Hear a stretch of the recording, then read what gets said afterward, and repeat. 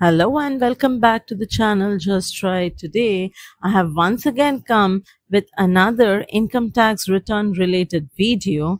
I hope many of you have seen this ITR filing online video, which is a new process video for assessment year 25-26. If you have not visited, then please look into the previous video.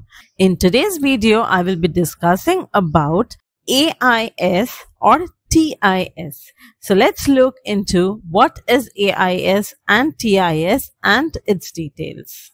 To verify what is your status of your annual information statement of the entire year, you can select on AIS. You get this pop up, go to proceed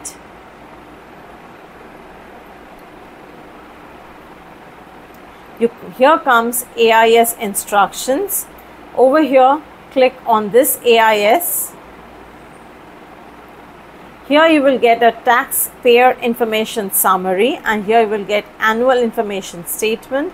Select on TIS. Here you get all your data.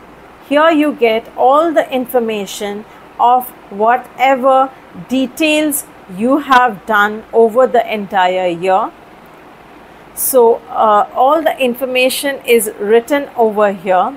So all the details you will get over here and you can tally the information uh, whenever you are uploading the data. If the last part is done then now we will be coming to 26 as so 26 as is the most required item that everyone needs for filing income tax uh, return. So please look into the next part. If anyone wants to get form 26AS, then in that case you can click on e-file. You can select view form 26AS. You can you will get this pop-up. Select on confirm. You will get this page. Select on I agree. Go to proceed and you will get this page.